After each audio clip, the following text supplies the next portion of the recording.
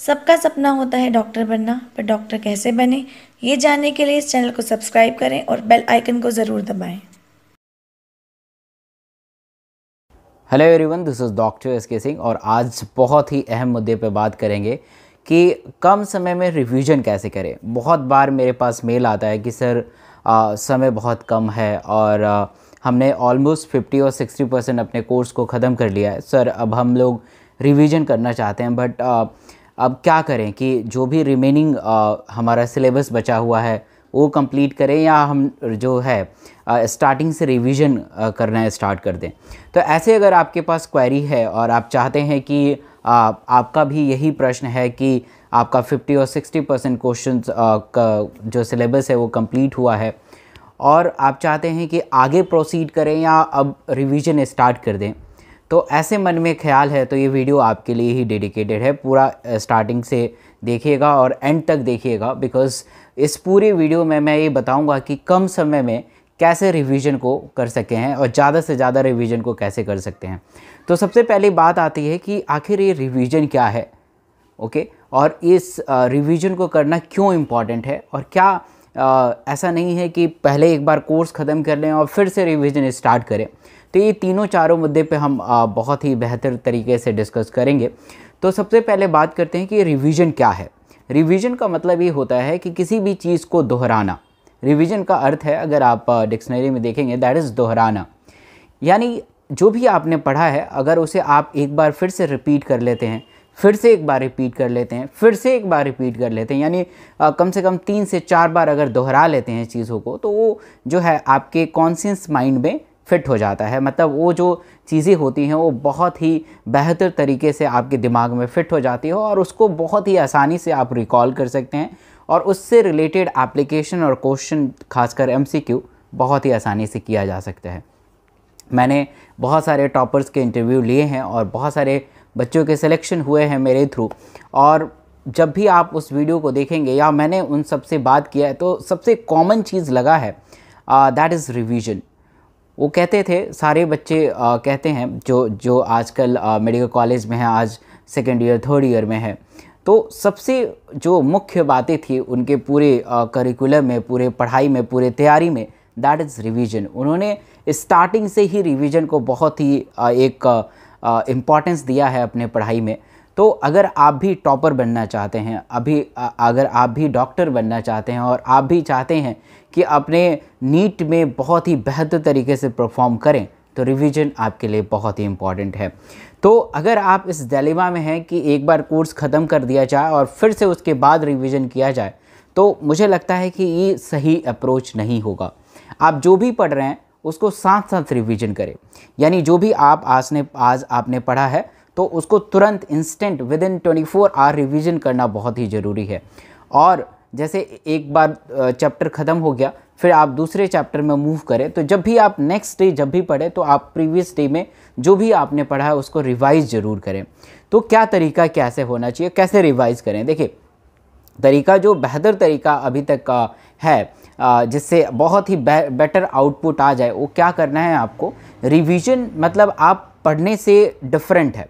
यानी रिवीजन हम किसे कहते हैं? जो कि आपने पूरा चीज़ अच्छे से समझा है और उसको आपको दोहराना है फिर से रिपीट करना दैट इज़ रिवीजन तो क्या कीजिए लेट सपोज़ कि आपने जो है ह्यूमन रिप्रोडक्शन पढ़ा पूरा अच्छे से दो तीन बार रीड किया अब उसको रिवाइज़ करना है। तो कैसे रिवाइज़ करें? तो आप क्या कीजिए कि आ, अपने स्टडी टेबल पे वो बुक या नोट्स जो जिससे आपने पढ़ा है पूरा द दो तीन बार पढ़ा है उसको ओपन कर दीजिए।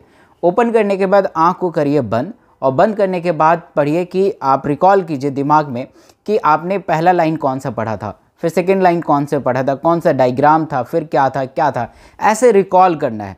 दिमाग को थोड़ा कस देना है। जब तक आप दिमाग को प्रेशराइज नहीं करेंगे कि रिकॉल करना है तो आप पढ़ते रहें। मतलब कि आपने जो स्टार्टिंग से जो भी चीज़ों पढ़ा है, अच्छे से दो तीन बार पढ़ा है और रिवीजन भी अगर ऐसे करें तो फिर वो फ़ायदा नहीं होगा।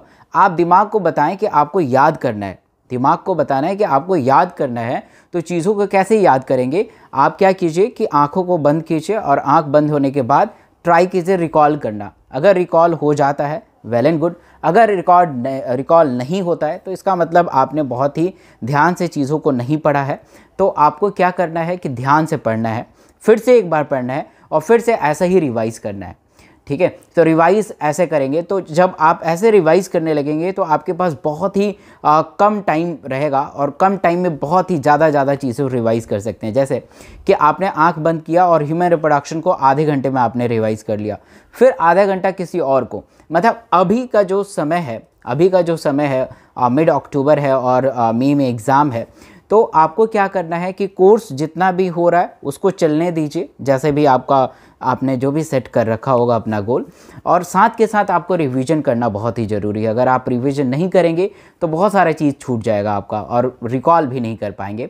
तो जो भी, वैसे अभी से ही आदत बना लीजिए कि जो भी पूरे दिन में आपने पढ़ा है, उसको पूरा दिन जब आपका कंप्लीट हो जाए, जब आप सोने जा रहे हैं तो एक दो घंटा पहले सारे चीज़ को एक बार रिकॉल कीजिए और फिर नेक्स्ट डे जब भी आप नेक्स्ट टॉपिक को पढ़ने जा रहे हैं तो ऐसा नहीं होना चाहिए कि आप पूरा नेक्स्ट टॉपिक पढ़ते गए, ठीक है? पहले क्या करना है कि जो भी आपने लास्ट प्रीवियस डे में जो भी पढ़ा है, उसको एक बार अच्छे से रिवीजन करें और फिर नेक्स्ट आपको मूव करना है।